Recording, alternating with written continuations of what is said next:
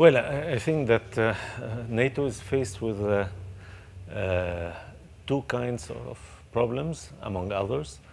Uh, one is where it stands uh, with regard to its expansion, because uh, Ukraine and Georgia were on the agenda for the next wave of expansion. Then Ukraine had a change in government, and this was removed as an per immediate perspective.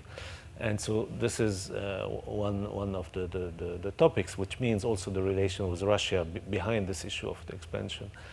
And the other one is uh, uh, the whole uh, involvement of NATO in uh, so-called out-of-area operations because of the increasing impopularity of the Afghan war, uh, at least among the allies of, of the United States within NATO, where public opinions in most states are, are clearly opposed to, to the continuation of this war.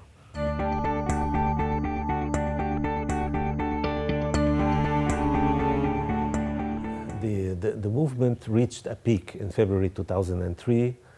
Uh, uh, but to believe that this would have been enough to prevent the war, I think is uh, just based on a kind of illusion. Because the only place where a movement can stop the war, a US war, is in the United States.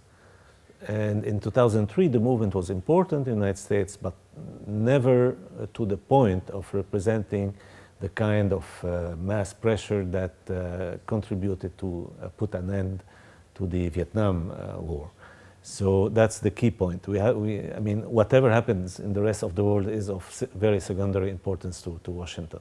So that's the key point. Now, the problem is that the good point that we have to keep in mind is that uh, the, the war in Iraq which started with high rates of uh, popularity, ended with very low rates of popularity. And this explains why the, the, the, the Obama administration came to, to power with an agenda of, of uh, you know, evacuating uh, military forces, US military forces from, from Iraq.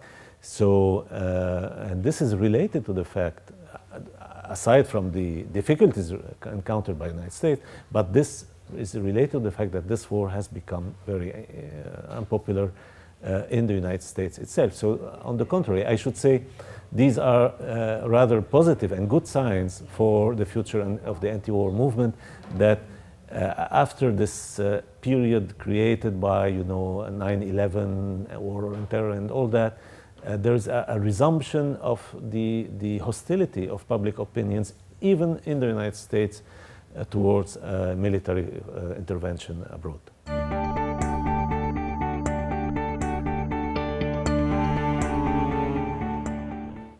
Well, Obama basically is no discontinuity with the Bush years, contrary to what people believed. Uh, the, the real discontinuity happened in 2006 during Bush. That is when the the uh, kind of uh, project that Bush, the Bush administration had for Iraq collapsed, uh, reached very clear failure. And you had a bipartisan uh, effort in the United States to change the policy. And 2006 was the turning point. And there were new policies imposed on the Bush administration, which also translated in the fact that the neocons were ejected. And even Rumsfeld uh, was, was ejected. And the fact that Obama kept the same Secretary uh, for Defense, Robert Gates, is indicative of the fact that Obama is a continuation of the last two years of the Bush administration, basically, with some changes, but basically. And the, the, the, what they are trying to do is uh, uh, end the direct involvement in fighting in Iraq while keeping some leverage over the country and uh, securing some influence. And they did so uh, through buying uh, uh, the Sunni, Sunni tribes, which were the constituency, basic constituency of the so-called insurgency against the occupation. And they want to play on this divide and rule between Sunnis and Shia and all that to perpetuate their arbitral role in the country.